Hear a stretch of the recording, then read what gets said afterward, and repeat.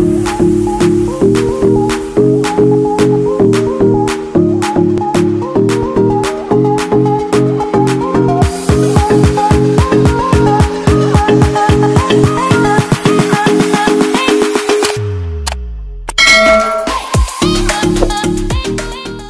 guys and welcome back to my channel. My name is Lara if you haven't met me before. I'm doing a series on tectonic processes and hazards.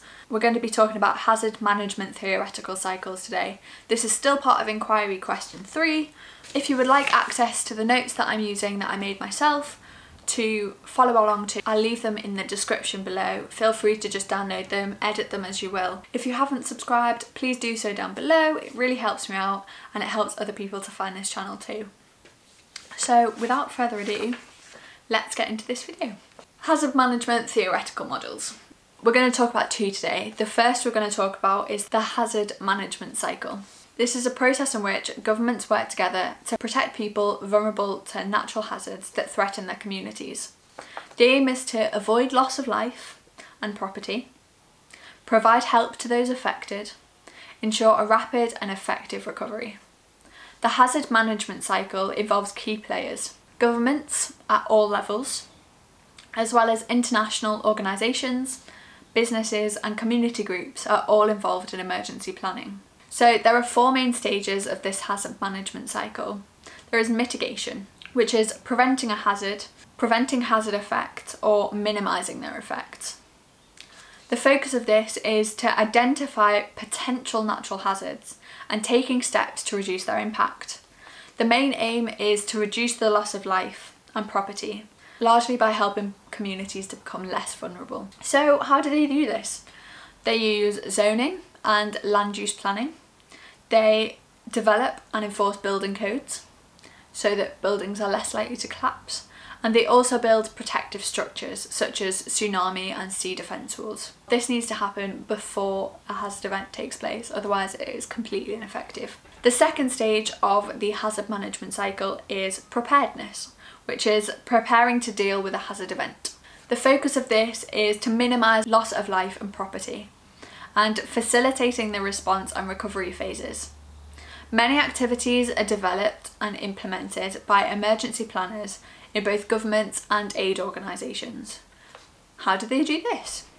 They develop preparedness plans, they develop early warning systems, they create evacuation routes, they stockpile equipment and aid supplies, and they raise public awareness by holding earthquake drills, teaching children in school of how to do this. Again, this is another stage that happens before the hazard event because otherwise it is completely useless. Stage three of the hazard management cycle, response. This is responding effectively to a hazard event. How do they do this? What's the aim of this? The aim is to cope with the disaster. The main aims are to save lives, protect property, make the affected areas safe and reduce economic losses. They do this through search and rescue efforts, through evacuating people when they need to be, through restoring critical infrastructure such as power and water supplies, and ensuring that critical services continue, such as medical care and law enforcement. This takes place during the hazard event. And finally, the fourth stage of the hazard management cycle is recovery, getting back to normal. So there are two main focuses for this. There's the short-term recovery, which focuses on people's immediate need, so it overlaps with the response phase a little bit. It does cause short-term activities, but it may last for a few weeks. Long-term recovery. This involves some of the same actions, but it may continue for months or even years. It includes taking steps to reduce vulnerability, which often overlaps with the mitigation phase, and the cycle continues. Actions, what can happen? Short-term actions, for example, restoring health and safety services, restoring permanent power and water supplies, re-establishing transportation routes, providing food and temporary shelter, organising financial assistance to help people rebuild their lives. And what about long term? So this involves rebuilding homes and other infrastructure, repairing and rebuilding more infrastructure and reopening businesses and schools. Again, this takes place after the hazard. This can't happen before. And as I said before, the cycle then continues. So a lot of the long term links back to mitigation, which is why it's a cycle rather than stages. So the second model I'm going to talk about is the park model, which is known as the hazard response curve. This shows how a country or region may respond after a hazard event. It can be used directly to compare how areas at different levels of development may recover from a hazard event.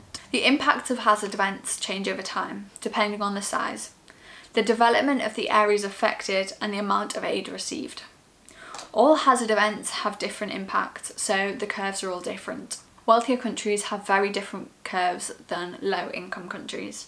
This is because they are able to recover much faster.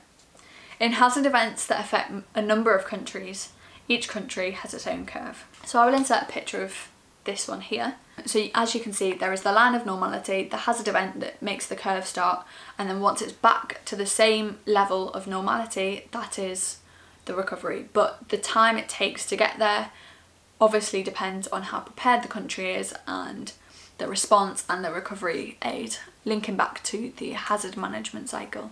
I hope you enjoyed this video. I hope you learned something.